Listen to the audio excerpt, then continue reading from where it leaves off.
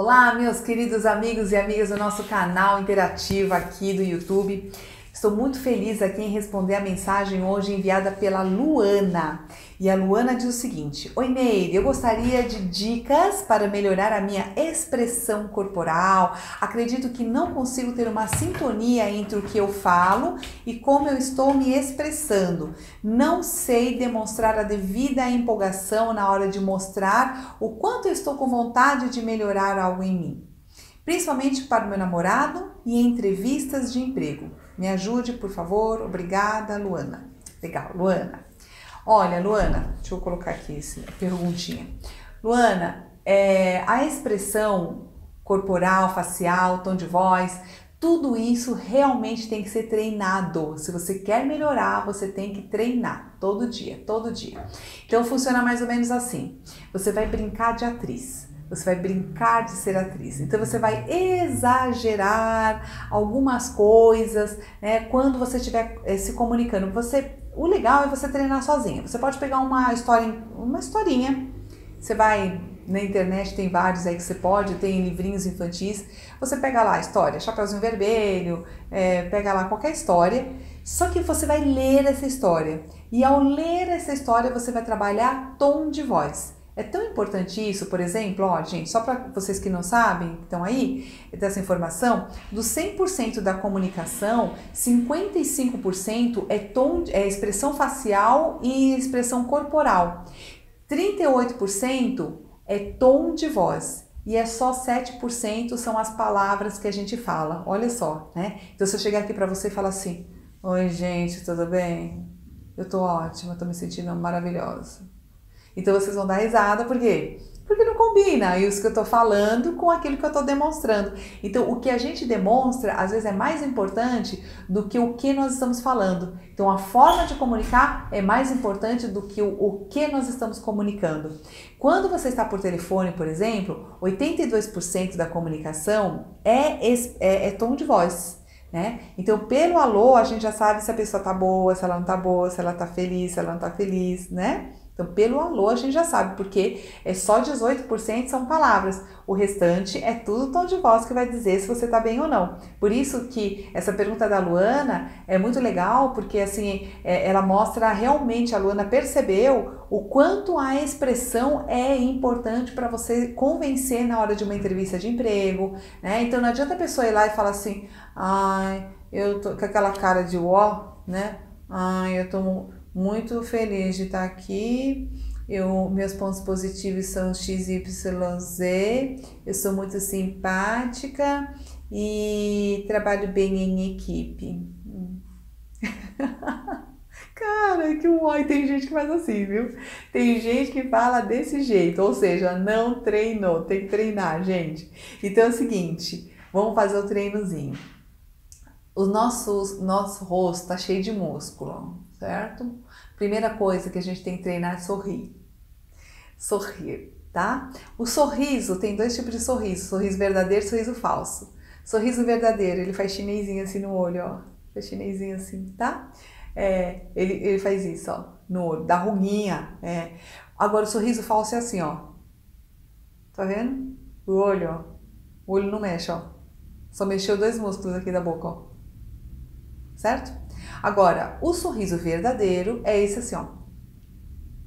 Esse é o verdadeiro, tá? Porque ele mexe com mais músculos e o nosso cérebro, ele é tão esperto, tão esperto que ele capta rapidamente, automaticamente essas nuances e a gente percebe se a pessoa está dando um sorriso verdadeiro ou falso pra gente. Ninguém engana a gente, não é assim? Tá? E a gente também não engana os outros não. Então, primeira coisa é sorrir com os olhos que a gente fala, né? É quando os nossos olhos participam do nosso sorriso, tá? E isso é um é, é, é um treino, tá? É um treino. Então você vai treinar o rosto, você vai treinar as expressões, tá? Então quando você for dar uma bronca em alguém, uma bronca em uma criança, você vai fazer a postura de bronca, né? Então como que é a postura de uma pessoa que está brava?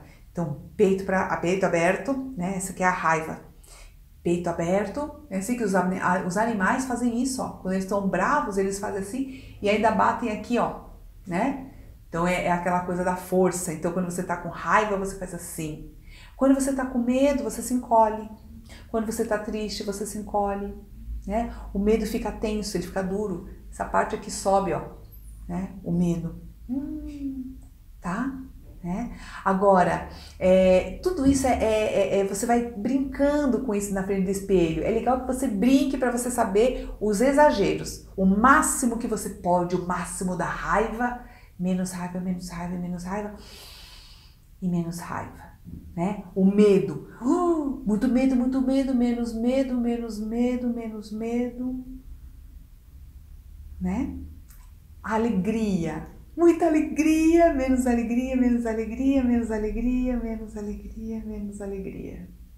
Então você vai testando essas nuances e vai testando também o tom de voz. Você vai pegar o livrinho, você vai ler, você vai dar nuances, né? Você vai subir a, a, a tom de voz, você desce o tom de voz, você faz uma velocidade mais rápida e depois uma velocidade devagar pausada. Então é assim que você vai modulando essa habilidade, é nem tocar um instrumento, né? Nós temos as nossas cordas vocais, elas são instrumentos. Cantar também é legal, Luana. Tenta cantar também, que é bem bacana, tá? Você vai testando o seu tom de voz, você vai dominando isso. Porque tem hora que a gente quer cantar de um jeito e não sai, não é? Da mesma forma, quando a gente quer se expressar de uma forma mais animada, se a gente não treinou, ele vai sair monotom. É aquela pessoa que fala sempre do mesmo jeito, tá feliz, fala daquele jeito, tá triste, fala daquele jeito, é tudo daquele mesmo jeito. Pessoa chata, né? A pessoa que não tem as modulações, não tem o colorido, tá certo? Então, assim, tudo é treinado. Tá no, no telefone, você fala assim, agora eu vou atender bem alegre, fulano de tal.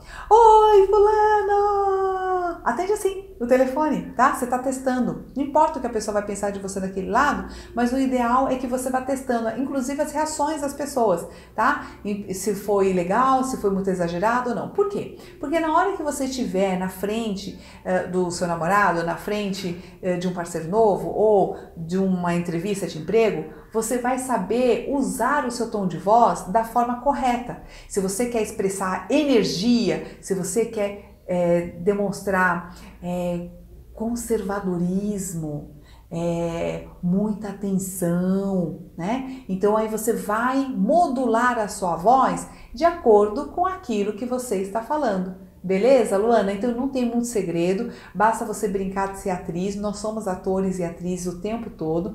Nós precisamos ajudar a expressar as nossas emoções, os nossos pensamentos. Quem consegue fazer isso tem menos problema de relacionamento, sabia? Porque consegue expressar de forma mais fidedigna, sem tantos vieses, a comunicação, tá legal? E assim a gente consegue muitos, muitos outros benefícios, minha amiga, que você nem imagina que você vai ter com essa comunicação aí, beleza? E vocês aí, meus queridos amigos, se vocês gostaram dessa dica, você passa, compartilha aí para seus amigos que precisam se expressar melhor, precisa ter uma coerência melhor entre aquilo que fala e, e, e expressa, né? E se você tiver mais dúvidas, se, você, eu não expliquei direito, você pode colocar aqui, ó, as suas dúvidas nos comentários ou então entra no nosso site o www.mericamia. Você lá dentro você tem um, um, espaço que é o canal interativo, você a pergunta por lá. Se não quiser se identificar, tem lá espacinho para você inventar um codinome e eu respondo aqui pelo nosso canal do YouTube. Tá legal, gente? Olha, super obrigada mais uma vez aí pela participação de todo mundo. Obrigadíssima pelos comentários que vocês deixam aqui, muito fofos.